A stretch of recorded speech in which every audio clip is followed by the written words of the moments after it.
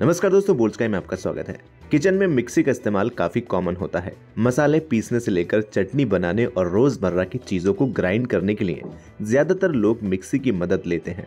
Mixie use करने से आपको कुकिंग में काफ़ी हेल्प मिलती है। डेली लाइफ में कुकिंग को आसान बनाने के लिए मिक्सर यूज़ करना काफ़ी नॉर्मल होता है।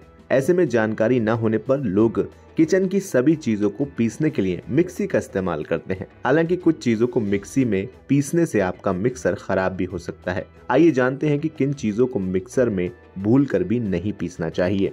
तो आपको बता दें, साबुत मसालों को पीसने से बचें। कुकिंग में मसालों का इस्तेमाल तो तभी करते हैं, वही खाने में स्वाद का तड़का लगाने के लिए कुछ लोग मार्केट से साबुत मसाले खरीद लाते हैं। मगर खड़े मसालों को मिक्सर में पीसने से आपकी मिक्सी खराब हो सकती है। ऐसे में मसालों को पीसने के लिए स्पाइस ब्लेंडर का इस्तेमाल बेस्ट रहता है। इसके अलावा कॉफ़ी बीन्स को भी ना पीसें।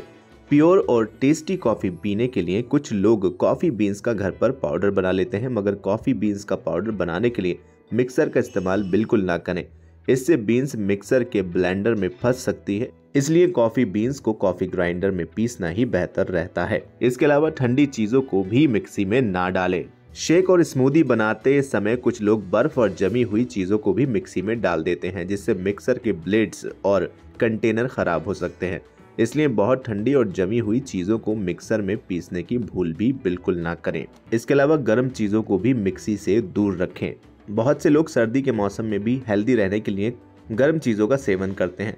वहीं कुछ लोग गर्म चीज़ों को भी मिक्सर में डालकर पीसने लग जाते हैं, मगर इससे दबाव पड़ने पर आपकी मिक्सी फटने का खतरा रहता है।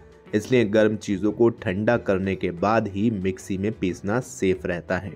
फ़िलहाल इस वीडियो में इतना ही। अगर आपको ये जानकारी पसंद आई हो तो इसे लाइक करें शेयर करें और चैनल को सब्सक्राइब करना बिल्कुल ना भूलें।